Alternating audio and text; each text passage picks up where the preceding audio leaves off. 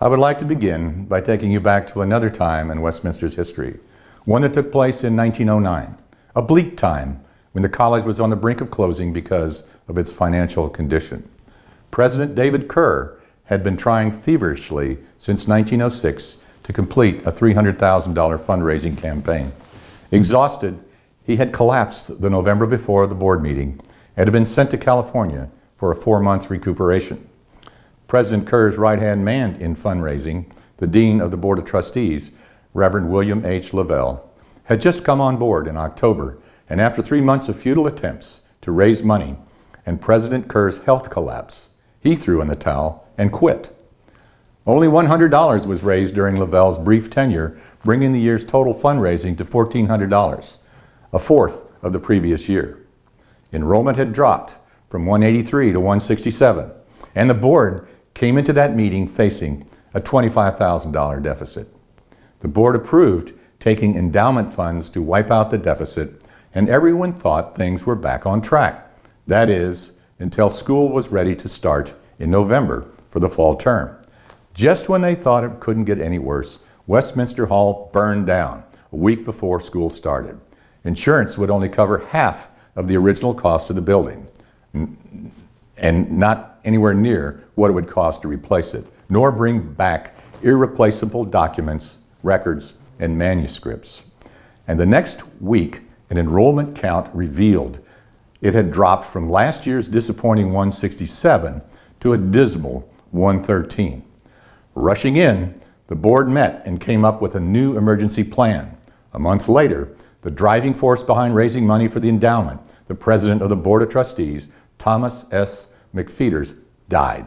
My point is, any one of these circumstances might have been enough to tank many colleges, but to be rocked by setback after setback, such as this board was, and still come back stronger than ever, is what makes Westminster the great college we all know and love.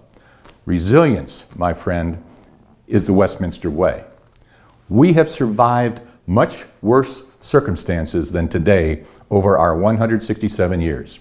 We've risen from the ashes more than once, and weathering these storms of the past have only made us stronger. And we will weather this storm. We will not only survive, but come back stronger than ever.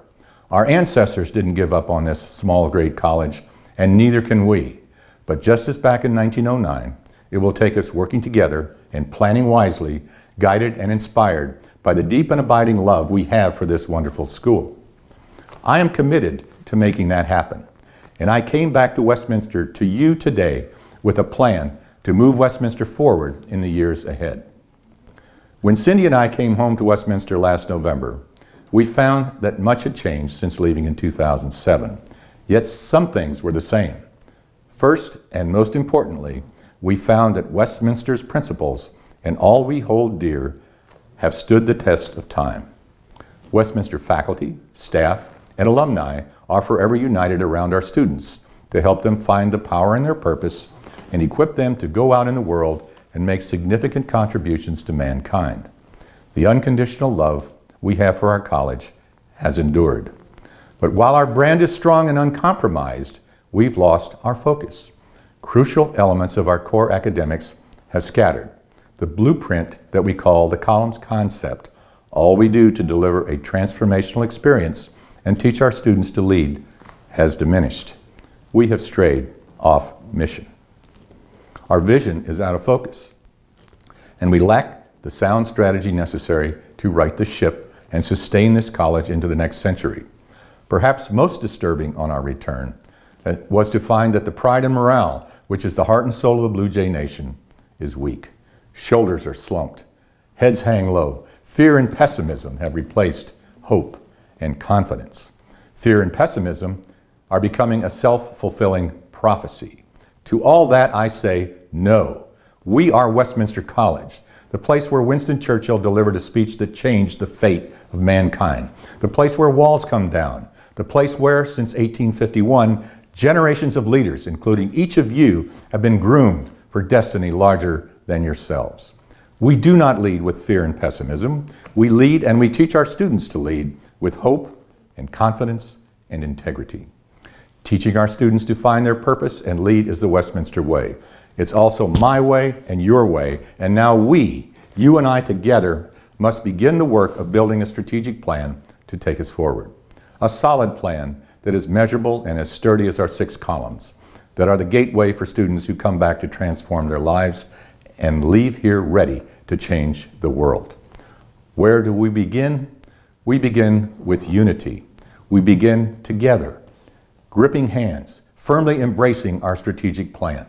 Objective one is to solidify our plan beginning right now, this moment.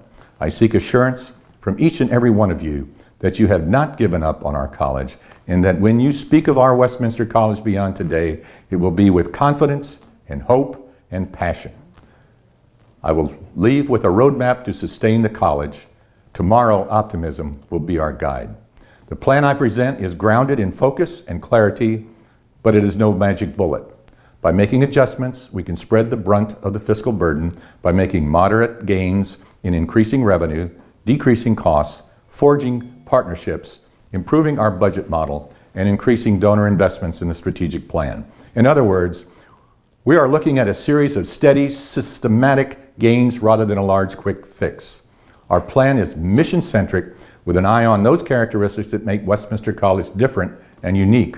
Our rich history, global thinking, transformative learning, invested alumni, and the integrated experience that arm our students with leadership skills to fulfill their purpose in life. The first five tenets of the plan chart the course to sustainability. We will focus on rebuilding the academic core of the columns concept as a tool to improve all aspects of the Westminster experience, from recruitment to retention to alumni engagement. The plan will set forth sound and measurable models to increase enrollments, retain students, improve facilities, engage alumni, and enhance our reputation. The plan will provide a sustainable financial model to ensure that we live within our means with clear, targeted objectives and accountability from all departments and staff. The plan will integrate the principles of Winston Churchill into all that we do that, so that his spirit lives on in a world at the time when the Churchill brand of leadership is desperately needed. The sixth tenet of the plan, and one that is my overarching yardstick, is to rebuild morale, instill confidence and hope in the Blue Jay Nation and build an optimal institutional climate where students seek Westminster College out because it is a place where they are confident that they will leave with more than an education. They will leave with purpose, inspiration, and skills to go forth and lead. We are not talking about miracles. No, we're talking about common sense and focused, accountable goals that will save the college. I'm asking you to invest in this strategic plan, in this college, in the spirit of what Westminster means to you and how this college fueled your purpose and did so in your own unique way. The treasured memories, the cherished friendships, the rich traditions, and the extraordinary learning experience. I'm asking you to help keep the flame alive for another century so that in the year 2118, when the world is unrecognizable from what we know today, Westminster's next century of leaders will be moving forward with open confidence and integrity. That the leaders we groom here in Middle America to serve in a new century will have a lasting impact on mankind. Just as in 1909, our task is not easy, but our love of Westminster is just as strong and our thoughts as resolute. That is why I returned. That is why this is the only college or university I would have left my previous position to lead. Like you, my heart is and always has been here.